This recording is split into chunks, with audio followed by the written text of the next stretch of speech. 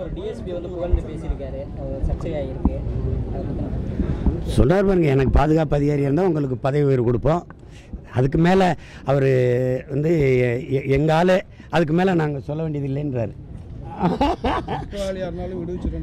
ஆ சரி நாங்கள் நல்லவரை நல்லவர்களை குற்றவாளியாக்க முடியும். குற்றவாளியை நல்லவராக ஆக்க முடியும். அந்த வித்தை அவருக்கு தெரியுங்கிறாரு ஏன்னா அவர் எங்காலுன்றார் அப்போ இவங்க என்ன கற்றுக் கொடுத்துருக்காங்கங்கிறத நீங்கள் நீங்கள் தான் பார்க்கணும். தம்பி கொலை வழக்கை கண்டுபிடிக்க முடியும் ம்?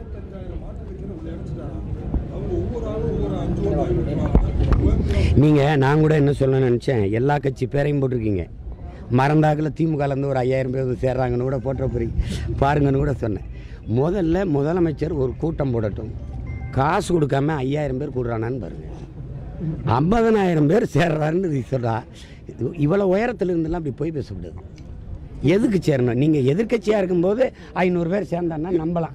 ஏதோ அந்த ஆட்சி பிடிக்கல போகிறான்ட்டு இப்போ எதுக்கு இந்த அநியாயத்தை சகிக்க முடியாமல் இருக்கிறவன் எதுக்கு போகிறான் ஒரு தம்பி எழுதியிருக்கான் என் அலைபேசியில் இருக்குது உண்மையிலேயே இவங்க திமுகவில் விரும்பி தான் சேர்ந்துருக்கிறாங்க அப்படின்னு ஒரு தம்பி கேட்குறேன் எப்படி நீ சொல்கிற அப்படின்னு. வந்து சேர்ந்தவன வாழைப்பழத்தை திருடுறான் பாரு. அங்கே அங்கே வாழை தார் தொங்க அந்த தோரணமா. முதல்வர் வரைக்கும் அதில் வாழைப்பழத்தை ஆண் பெண்ணெல்லாம் புழு பிச்சுக்கிட்டு போகிறாங்க அப்போ அவங்க உண்மையிலேயே உடன்பிறப்புகள் தான் அது. இல்லை அது வேற. லைக்கா வந்து அது அந்த குற்றச்சாட்டுலாம் போய் ராஜபக்சே கூட. நான் அதுக்கு முழுக்க தம்பி சுபாஷுக்கு ஆதரவாக இருந்து அந்த படத்தை கத்தி படத்தை வெளியே ஏன்னா கதை தெரியும். முருகதாசும் விஜயம் வந்து தமிழ் இனத்துக்கு எதிராக நிற்கக்கூடிய பிள்ளைகள் இல்லை. முதல்ல அதை புரிஞ்சுக்கணும். அதனால தான் அதில் உறுதியாக நான் நின்று சண்டை செய் சண்டை போட்டு அதை வெளியில் கொண்டு வந்தோம். இன்றைக்கி வந்து அவர் குறிப்பிடத்தக்க ஒரு பெரிய தயாரிப்பாளராக வந்திருக்கிறதுல நமக்கு மகிழ்ச்சி. ரெட் ஜெயிண்ட் அப்படி அதை பொறுத்த வரைக்கும் என்னென்னா நான் விசாரித்த வரைக்கும் தயாரிப்பாளர்கள் எல்லாருமே நம்மக்கிட்ட சொல்கிறது அவங்க உரிய தொகையை கொடுத்து படத்தை வாங்குறாங்க.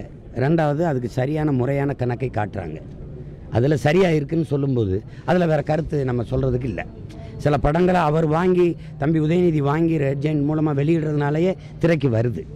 இப்போ நான் வெளிப்பட சொல்கிறேன் அண்ணன் கமலஹாசன் ஒரு நடித்து விக்ரம் படம் இவ்வளோ பெரிய வெற்றியை தொட்டதுக்கு தொட்டு இவ்வளோ பெரிய வெற்றி அடைஞ்சதுக்கு இவ்வளோ லாபத்தை ஈட்டியதுக்கு உதயநிதியும் ரெட் ஜெயின்ட்டும் ஒரு காரணம். அதை மறுக்க முடியாது. ஏன்னா அவர் கொடுத்த அந்த என்ன சொல்கிறது மக்கள்கிட்ட கொண்டு போய் சேர்த்த விதம் அவர் தொலைக்காட்சியில் கொடுத்த விளம்பரம் அவர் வாங்கியிருக்காருன்னு வந்த கவனம் இதெல்லாம் இருக்குது. அப்போ அதை போய் நம்ம குறை சொல்லிட்டு இருக்க வேண்டியதில்லை. அதான் அது தெரிஞ்சு தானே நீங்கள் வாக்கு செலுத்துனீங்க? சைத்துக்குருங்க. வேற? வந்து அதில் விளம்பரம் அது தவறு நீங்கள் அண்ணன்ட்ட சொல்கிறேன் அந்த மாதிரி இது தவறான இதில் அண்ணன் சரத்குமார் போன்ற புகழ்பெற்ற நடிகர். அதுவும் சமூக நேசிக்கக்கூடிய ஒரு தலைவர் வந்து செய்யக்கூடாது ஆன்லைன் ரம்மி எந்த வடிவத்தில் சூது வந்தாலும் நம்ம ஏற்கக்கூடாது நீங்கள் திண்ணையில் உட்காந்து பொழுதுபோக்கு நம்ம நம்ம சித்தப்பா பெரியப்பா மாமாலாம் சீட்டானது கைது பண்ணி ஜெயிலுக்கு போனவங்க பார்த்தியில்ல அதே இது தொலைக்காட்சியில் வந்து அது எப்படி? அது எப்படி இருக்கிறது அது அண்ணன் சரத்குமார் இல்லை மிக புகழ்பெற்ற கிரிக்கெட் விளையாட்டு வீரர்கள்லாம் அதில் விளம்பரத்தில் நடிக்கிறாங்க. நான் வந்து ஒரு மோட்டர் பைக் வாங்கினேன். ஆன்லைன் ரம்மி மூலமாக வென்றேன். பல பேர் மோட்டர் பைக் வித்துட்டு செத்து போயிட்டான்டா பரதேசி. நீ என்னடா அப்படி பேசிட்டு நம்ம சொல்ல வேண்டியது இருக்குது கருத்து கேட்குறதுங்கிறது வச்சு- முதல்வர் என்ன சொல்கிறாங்க பாருங்கள் ஆன்லைன் ரம்மி வேணுமா வேணாமான்னு. நான் மக்களின் கருத்தை தள்ளுங்க. முதல்வரின் கருத்து என்னன்னு சொல்லுங்க.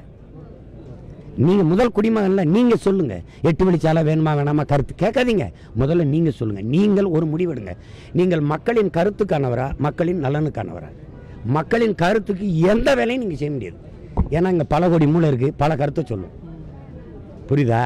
அப்போ அம்மாவா நீங்கள் இருக்கீங்க வீட்டுக்கு தாயாக இருக்கீங்கன்னா குழந்தை எதை வேணாலும் கேட்கும். கேட்குறதெல்லாம் கொடுத்துருவீங்களா? தாய்க்கு தெரியும் குழந்தைக்கு எதை கொடுக்கணும் இதை தடுக்கணும்னு. தலைவனுக்கு தெரியும் நாட்டு மக்களுக்கு எதை கொடுக்கணும் இதை தடுக்கணும்னு. அப்போ உங்கள் கருத்து தான் முதன்மையானது. இப்போ எல்லாத்துக்கும் ஒரு கருத்து கேட்குறீங்களா டாஸ்மார்க் வேணுமா வேணாமா? ஒரு கருத்து போடுங்க. எல்லாரும் வேணாம்ட்டா மூடுவீல? அப்போ அதனால இந்த கருத்துங்கிறதே நமக்கு ஏற்புடையது அல்ல